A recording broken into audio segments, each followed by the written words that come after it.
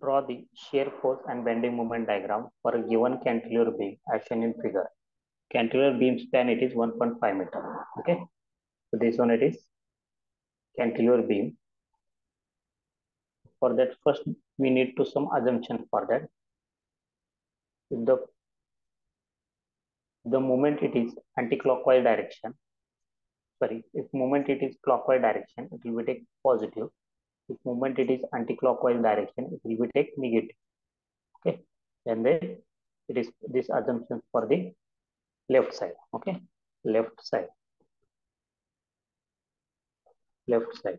Okay, the second assumption when the moment it is clockwise direction, it will be take negative, and moment it is anti-clockwise direction, it will be take positive. Okay. So this assumption it is for right side. Okay. Right side.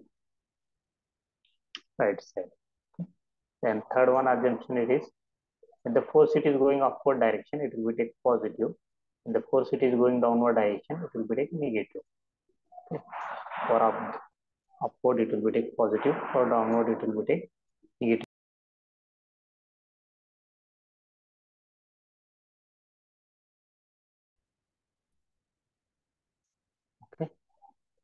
So only we need here for cantilever beam only right side assumption it is utilized for that. Okay. So first of all, at A there will be fixed end and at B it will be free. Okay. At A at at A there will be one reaction. It will be upward reaction. That is it will be RA RA reaction for that, we need to calculate the reaction. To apply the equilibrium equation, summation of Fy is equal to 0. Summation of Fy is equal to 0. Algebraic sum of all the vertical forces is equal to 0. Here it is only one unknown. That's why we will directly apply summation Fy is equal to 0. So upward it is RA is going upward direction. Then minus this UDL load it is converted it is in point load. Okay. So UDL load, so this distance it will be so A to C distance, be acted UDL load. So this distance it will be, the total span it is 1.5 meter and this one it is C to B it is 0.5 meter. Means this distance it will be get 1 meter, 1 meter. The UDL load it is acted for A to C and that is 1 meter. So 1 kilonewton meter into 1. It will be get point load. It will be acted at the center of this 1 meter. That is convert this UDL load it is in point load that is 1 kilonewton. Okay. So distance from this A to this load it will be 0.5 meter. It is acted center of A to C that is 0.5 meter from the 0.5 meter from the fixed end that is A. Okay. So summation Fy is equal to 0. Then RA it will be 1 kilonewton it is downward direction minus then minus 2 minus 2 at B it will be there is a third force that is going downward direction. So minus 2 is equal to 0. Okay. It will be get RA is equal to RA is equal to 3 kilonewton. RA is equal to 3 kilonewton. Okay. So RA is equal to this one is RA is equal to 3 kilonewton. RA is equal to 3 kilonewton. So we are calculating reaction now SF calculation. Complete the SF calculation. So it start from B. Okay, B to A. So for SF, SF at SF at right of right of B will be zero. SF at right of B will be zero. At right side there is a no any force. Okay. Then SF at B. SF at B. SF at B. SF at B will be there is a one downward force that is minus 2 kilonewton minus 2 kilonewton downward it is going that's why it will be minus. Okay. Then SF at SF at right of C, SF at right of C, SF at right of C will be also minus 2 kilonewton. Only there is a 2 kilonewton at right side. Why it will be minus 2 kilonewton. Then next one it is SF at SF at SF at left sorry SF at right of SF at right of right of it. SF at right of it will be First it is minus 2 kilonewton. Then this 1 kilonewton it is going downward direction. So minus 1.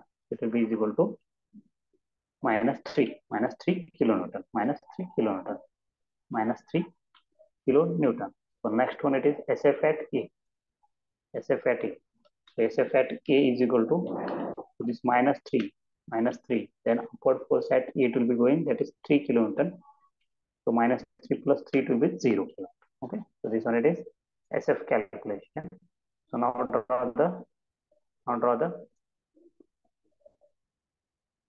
SFD diagram with the help of SF calculation. First draw the reference line at A, then at C, then at B. Okay. So this one is SF calculation. So draw the neutral axis for this SFD diagram. This one it is neutral axis.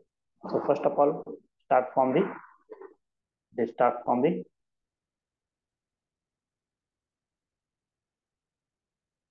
start from the B. This one is a reference line. So first of all, SF at right of B, right of B. This one it is B point with the help of reference line. So at B to SF at left right of B will be zero. The SF at B will be minus two kilon. So this one it is minus two kilon. It will be minus two kilon. Okay, minus two kilon. Then S SF at right of C. SF at right of C will be also minus 2 kilowatt. It will be also minus 2 kilowatt. Minus 2 kilowatt. Then SF at SF at right of A it will be minus 3 kilowatt. So this is minus 3 kilowatt. Right of A minus 3 kilo. Then SF at A it will be 0. Actually it will be draw the parabolic curve. Okay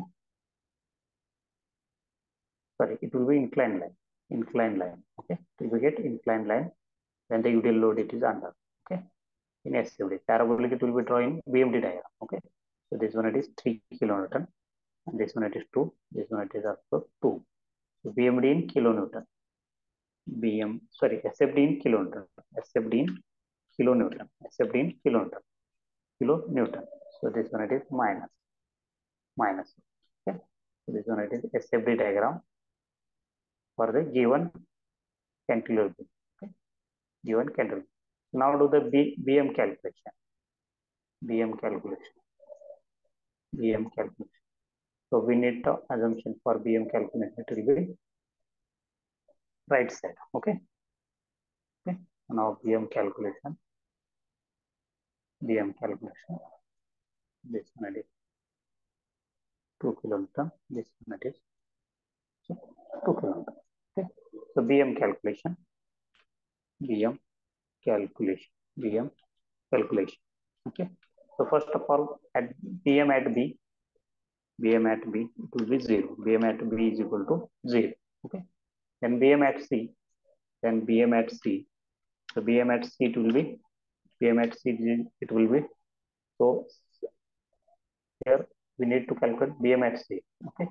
We'll take all the right side right side of load. Okay, so right side there is a only two kilonewton at the B. So we need the assumption of right side. Okay, so C B it is so two kilonewton load acted at the right side. Okay, so that's why we need to do the assumptions of right side assumption. Okay, so in right side assumption it is clockwise it is minus anti-clockwise it is plus. So how it is rotating this two kilometer about the C here. This one it is rotating so it is clockwise direction. That is means minus. So minus minus 2 into 2 into 0.5. 2 into 0.5. It will be 1 kilonewton meter. 1 kilonewton meter. 1 kilonewton meter. The next one it is BM at E. BM at E. BM at A. BM at A. So it will take all the right side load. Okay. So that's why we'll do the assumption this. Okay.